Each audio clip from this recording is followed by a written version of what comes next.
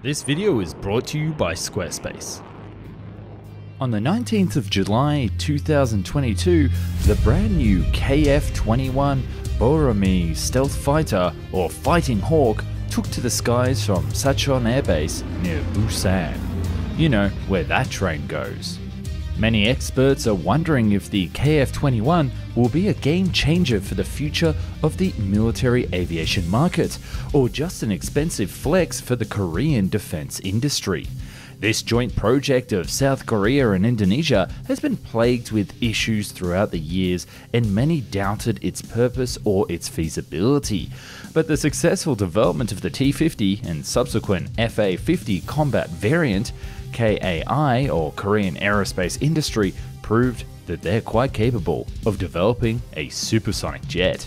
Now, with a breakthrough into the European market, with Poland acquiring 48 of the jet, the future looks bright for the Korean defense industry and terrifying for South Korea's enemies. Now, the story of the KF21, or better say the KFX, starts way back in early 2000s, 2002 to be exact, but it wasn't until one huge event that it really kicked it off with a bang.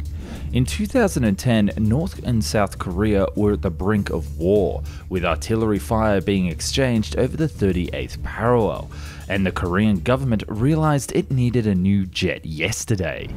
It pushed forward with the development of the KFX program, now determined to acquire some serious firepower for a conflict that had been looming in the air for almost 50 years. Several variants were proposed for this new Korean jet the C 103, a two engine jet resembling a F 35, or the C-203, which resembled a Eurofighter or the future Chinese J-20. There was also the C-501, which was the least complex version with a single engine. In the end, the C-103 design family was chosen because single-engine jets couldn't fulfill the requirements set by the government, and the C-203 design family was abandoned because a deal fell through with potential European partners. If they weren't going to exchange technology, then there was no chance that they were going to develop themselves. Remember, speed is of the essence. From here, the development of the C103 family changed throughout the years. Notice how the design morphed more and more from an F 35 to the F 22 Raptor, and the final, the C 109, which was approved for the prototype phase, bears a striking resemblance to the F 22, giving it the nickname the Korean Raptor. But there are also some other features about this jet that really do make it a game changer. Looking for a website for a business, project, or even an aviation themed YouTube channel, just like the one you're watching? Then Squarespace is your answer. Squarespace websites are already optimized for mobile phones, have the ability to run powerful email campaigns, and they have a fantastic e commerce tech built right into their framework, getting you into business right away. Plus, they have all the SEO tools that you will need to appear in the top results of Google. Trust me, Squarespace is the best. To launch your own site, go to www.squarespace.com/found and get 10% off your first site and domain. Back to the show. The KF21 is powered by two GE F414 engines, a further development of the engines that were used for the Super Hornet and as it's using so much of the existing templates from American jets, it actually has roughly the same dimensions as an F 35. And that's exactly the point. The design is very similar to the F 22 and F 35 because they partnered with Lockheed for this development. Lockheed transferred a lot of technologies for the KF 21, apart from some key components like radar, IRST, target pods, and RF jammers, which the Koreans were pushed to develop themselves, which they actually did with flying colours. But it's at this point that the project actually steps away from the F 22 and F 35 design philosophy. The weird thing is about the KF 21 is the fact that there is no internal weapons bay, which begs some questions about if it's really that stealthy.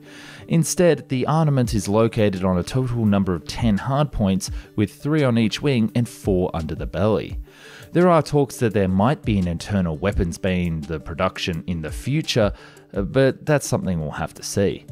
With the current configuration, stealth performance of the KF-21 is questionable and definitely doesn't put in the same category as other 5th gen jets, so it's more than likely that this is a four-plus-plus-gen aircraft compared to the Eurofighter, but with a lower radar cross-section. However, this isn't exactly the issue because from the start the Koreans were actually going for this and called it a 4.5 gen jet, and here's why. Indonesia. You see, Indonesia is actually a partner to this project and wants to buy at least 50 of these aircraft as an alternative to buying from Russia. Indonesia had been a buyer of Russian aircraft like the Su-27 SKM and the Su-30 and only recently switched under pressure from the US towards Western weaponry. This also meant that they cancelled the deal with the Russians to buy new Su-35s and bought 42 of the French Rafales instead.